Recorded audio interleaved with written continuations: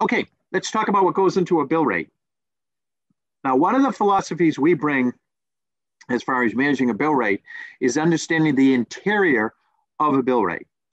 Because if you're going to apply discounts or other kinds of strategies, you also want it, your strategy and impact to flow appropriately throughout the interior of the bill rate. So let's get let's get into some of the high level perspective we're going to bring here and talk about it. So first of all, there's the pay rate. So this is direct pay to the worker. And um, as we talked about in module five, there's no co-employment risk here. There's no issues of understanding what the pay rate is.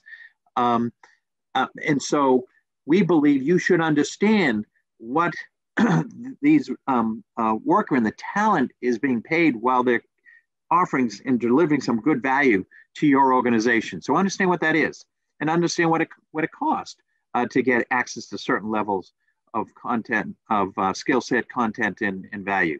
Okay. Then there's the markup. And the markup includes, as the way we've defined the bill rate here in a very simple form, it includes all the cost of um, operating the business. Let's take a look at, at that a little bit. First of all, the pass-through statutory expenses are going to be part of the markup, along with the gross margin. And that gross margin is paying for the nice fishbowl in the lobby of your staffing partner. And it's just anything you can think of. These are operating expenses plus the all important profit that your staffing partner needs to be able to capture to be able to stay in business and grow their, their the business and capabilities and the value that they can deliver to you.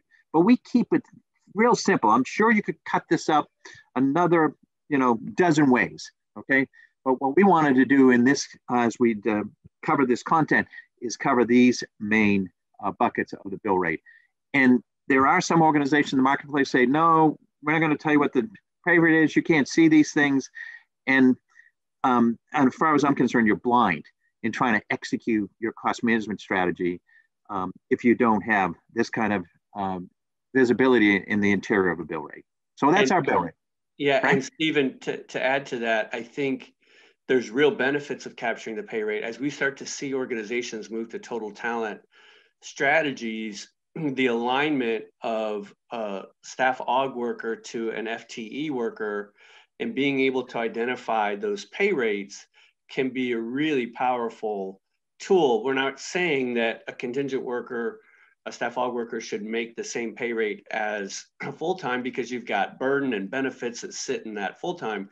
But knowing that, and then it becomes simple math, it becomes really powerful. And we have a couple of our buyers, uh, council members, our beloved council members, as we call them, that are effectively using this strategy to drive real change and real thought leadership as it relates to the different sourcing channels. Should I go FTE? Should I go staff aug? Because they have visibility and data to these types of uh, types of rates.